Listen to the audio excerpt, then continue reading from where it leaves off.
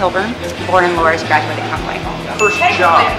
Myrtle Beach Pavilion, taking pictures. What's your favorite memory of the pavilion? Oh my gosh, I think the music. How long have you been a bartender? Uh, 23 years.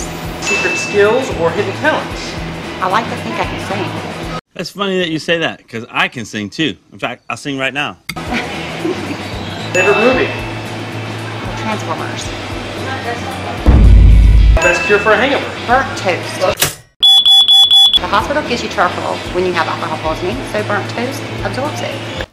That doesn't sound right, but I don't know enough about stars to dispute it. Dream concert lineup? Well, Bon Jovi, being the One of Dead or Alive is my favorite song.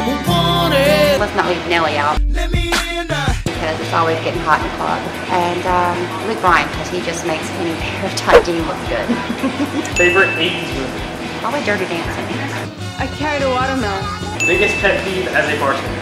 Coasters. I cannot stand sweat from a bottle or glass on the table or the bar. Celebrity crush? Matthew McConaughey. Mmm. How do you deal with difficult customers? I smile and pretend like I don't hear anything and just keep on going. I'm not going to listen to this. What is your signature drink? oh, the brain tumors. It's not a tumor. It's not a tumor at all. It's peach schnapps, Bailey's, and has the grenadine for the blood. Kind of like a peach cobbler.